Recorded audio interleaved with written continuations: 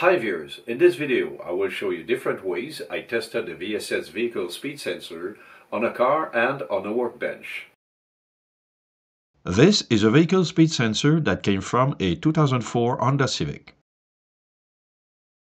I opened it to show two important parts, the embedded Hall switch and the multipole magnetic ring mounted on the shaft. Together they use the magnetic field to create the Hall effect that triggers the semiconductor switch. When it spins, this magnetic ring triggers the Hall switch four times per rotation. Here you can see that when I rotate the magnetic ring, the four equally spaced magnetic fields attract the steel wire. Without a proper magnetic field, the Hall switch cannot be triggered. Depending on the position of the magnetic ring, the Hall switch can be turned on or off. These on and off conditions normally make the signal alternate between 5 volts and near 0 volt. So when driving, the wheels rotate and the speed sensor generates square waves. These waves can be used by the PCM, the speedometer, the cruise control system and other modules. To begin, I disconnected the plug from the sensor mounted on the transmission. This first contact socket is used to ground the semiconductor assembly. This second contact socket provides a 12 volt battery power to energize the semiconductor when the ignition key is turned on. The last contact socket gets the reference voltage from the PCM when the ignition key is turned on. The reference voltage is usually 5 volt, but in some cases it can be above 9 volt Instead of back probing the connectors, I only tested the sensors with jumper wires. I made them to fit with the existing contacts of the VSS connector. Also, each jumper wire had the connecting eyelet on the side.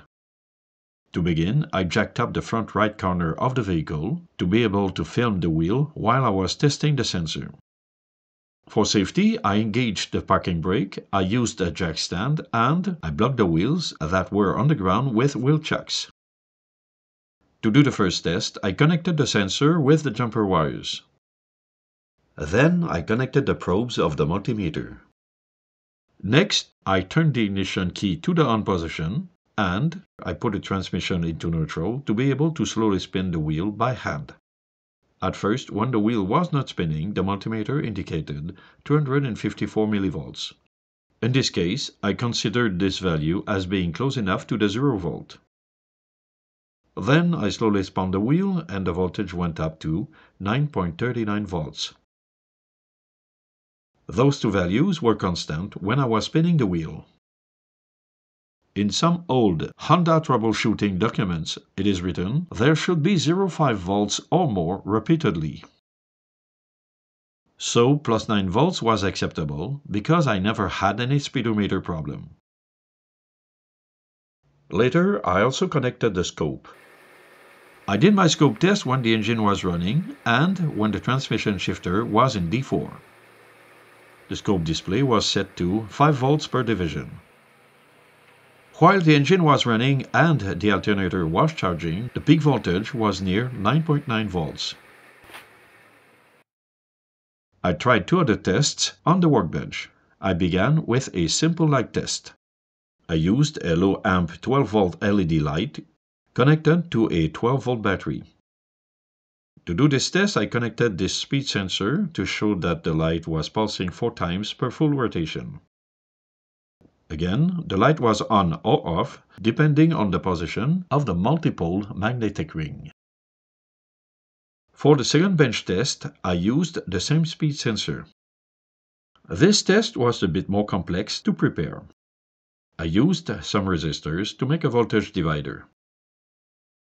The divided voltage was around 6.5 volts, but it was close enough to replicate a generic 5 volt signal coming from many PCMs. I tested the voltage and it worked fine with the VSS sensor. Now, the VSS speed sensors have been replaced by the wheel speed sensors, but the Hall effect principle is still used to generate the signals.